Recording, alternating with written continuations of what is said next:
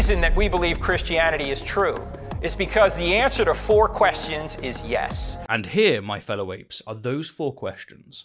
1. Were you born in a majority Christian country? Yes. 2. Will you accept the reliability of an ancient collection of books saturated with contradictions and atrocities? Yes. 3. Will you misrepresent science for Jesus? Yes. And finally, 4. From the low price of just $7,599 per person, will you go on exquisite cruises through Midian, Jethro, Saudi Arabia, Egypt, and Israel? Yes. Well then, lucky goose, the kingdom of heaven is bestowed upon thou. If you answer those four questions in the affirmative because there's evidence that the answer to those four questions is yes, then Christianity's true. As I'm sure most of you are aware, the Christian apologist Frank Turek has for many a year been battling the evil atheist professors of the world. Those atheistic college professors. And consequently, he has a vast ocean of gish gallop for poor sods like me to clear up.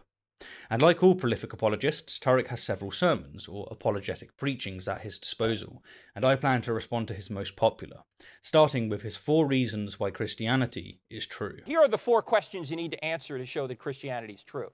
The first question is Does truth exist? The second question is, does God exist? The third question is, are miracles possible? And the fourth question is, the New Testament and therefore the Bible true? If you answer those four questions in the affirmative because there's evidence that the answer to those four questions is yes, then Christianity's true. In pursuit of maximal charitability, I've trailed through several of Turek's presentations of this preaching and have combined them to present the strongest possible case in his favour.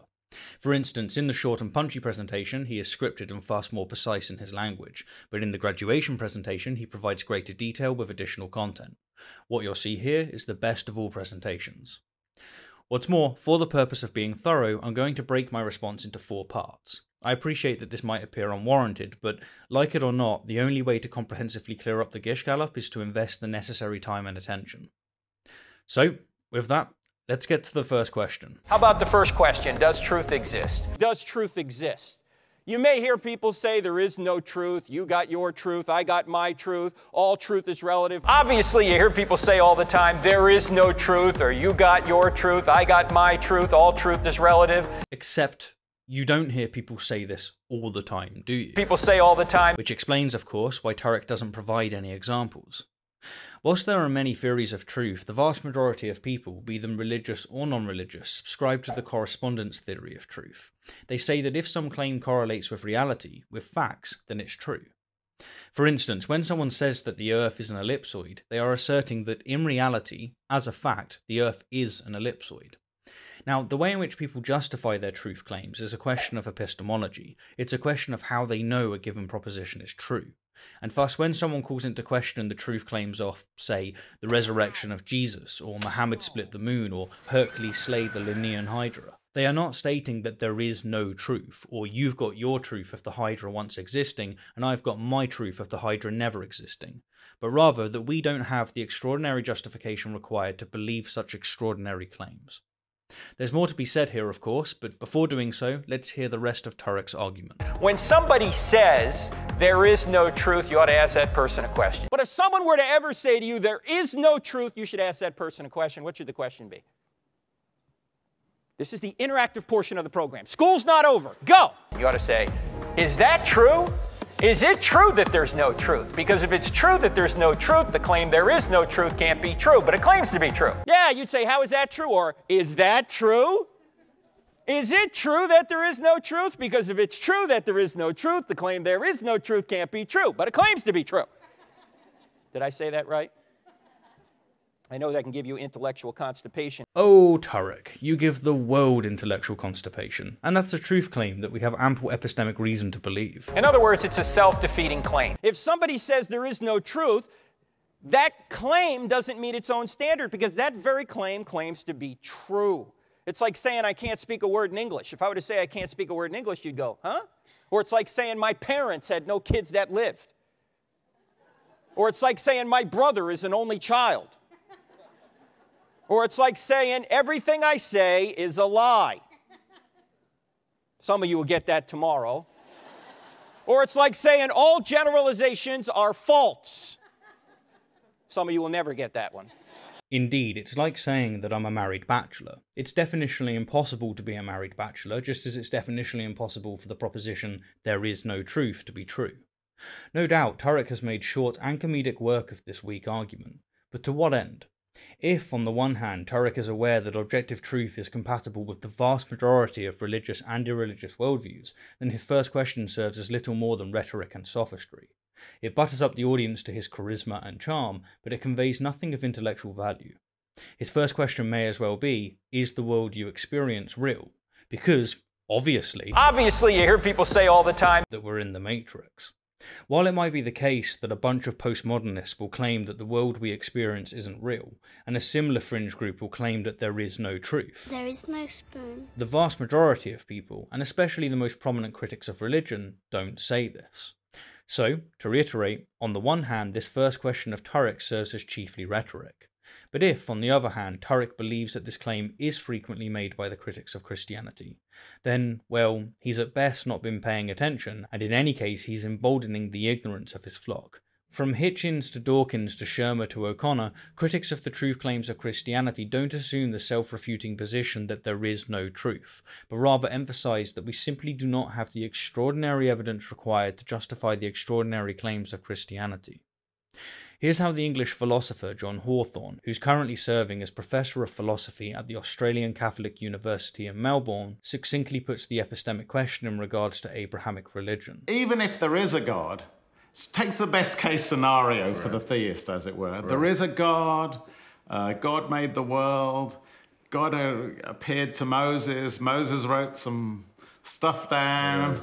Supposing that's all, all right, all true, should we conclude people in the good case scenario know that there's right. a God by, say, reading the, the, the bits of scripture? I mean, there are some arguments designed to show that even in the good case scenario, you're irrational. I mean, if I have a box and there's a beetle in the box and you can't see in the box, you'd be irrational to believe that there's a beetle in the box, even if it's right. What I like about Hawthorne's beetle example is that it simply and effectively illustrates the difference between truth and rationality. Even if it were the case, even if it were true that there's a beetle in the box, if you don't have epistemic justification for believing there's a beetle in the box, you'd be irrational, unjustified in believing what is, in fact, the truth. Another example I've used in the past is the shape of the Earth. Despite it being an ellipsoid, our ancient ancestors, who didn't have access to the evidence and data that we do today, would have been irrational to believe that the Earth is an ellipsoid. Now, to contextualize this in relation to strictly Christianity, even if it were the case that Jesus was the Son of God, that he performed all of the acclaimed miracles, assuming this is all true, that it's all factual, here's the epistemic question. Are we today reading translations of translations of contradictory accounts written by anonymous authors many moons after the supposed extraordinary events, and in mutual exclusivity with the extraordinary claims of many other religions, justified in believing such claims? The honest answer is no, absolutely not. Even if the claims of Christianity were true, we would not be justified in believing that it's true, as the evidence we have is shockingly poor. What's more, an all knowing, omniscient God would know this, and if it was also all loving, omnibenevolent, it certainly wouldn't threaten hell upon those that, earnestly using the brain that it gave them, are not convinced by the evidential disarray. Or to flip the script, if the kingdom of God is reserved only for those that use their brain, then, by divine irony, the residents are chiefly atheists, or at least they were before they expired. Because then you get, you get all the Christians dead, and then a load of bitter atheists going, and worst of all, I was wrong. So, to reiterate, Turek employs his first big question either for the purpose of rhetoric or because he doesn't understand the truth claim objections of non Christians.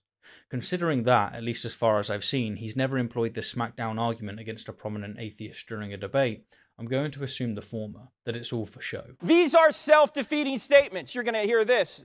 All truth comes from science. Now, in the graduation presentation, Turek kindly provides us with extra intellectual constipation by conjuring and then hastily defeating yet another weak argument. All truth comes from science. What question would you ask somebody who says that? Yeah, does that truth come from science? No, it doesn't come from science at all. It's a philosophical claim. You couldn't do science without philosophy. Science is built on philosophy. You couldn't understand the Bible or the newspaper without philosophy. So don't let them snow you. Whilst it's entirely possible that Turek has bumped into someone who has genuinely maintained that all truth comes from science, this strikes me as a straw man of the very popular sentiment that science is the best path to truth which also manifests in such quotes as you know, The good thing about science is that it's true whether or not you believe in it. It's always irked me that the religious so easily utilize the extraordinary value of science when it comes to health and technology, taking full advantage of the cornerstones of science that is rigorous skepticism and empirical methodology, but so easily dismiss science under the rubric of scientism when it contradicts their barbaric mythology. The philosopher and cognitive scientist Dr. Daniel Dennett has referred to this scientism dismissal as an all purpose wildcard smear. Calling a spade a spade, he says that when someone puts forward a scientific theory that they, the religious, don't like, they just try to discredit it as scientism. But when it comes to facts and explanation of facts, science is the only game in town. Anyhow, there's my response to Turek's first reason why Christianity is true. In a nutshell, it serves as little more than sophistry. To those unaware of the truth claim objections against Christianity, it paints the illusion of Turek being an intellectual and comedic juggernaut. But to those who are aware of the truth claim objections against Christianity, it comes across as sophistry and, honestly, really quite weird. You're like a bit weird. Now, in the next episode, the intellectual constipation goes into overdrive as the gish galloping accelerates to the next level. And I must say that if that hasn't enticed you to hit the subscribe button, then I don't think I'm ever going to win you over. As always, thank you kindly for the view, and an extra special thank you to my wonderful patrons and those of you who have supported the channel via other means. Together, we are fighting against the propaganda of apologetics, and we are, as a whole, having tremendous success. If you support me or any other skeptical YouTubers, podcasters, authors, etc., know that your generosity really is making a difference. Until next time, my fellow apes, until next time.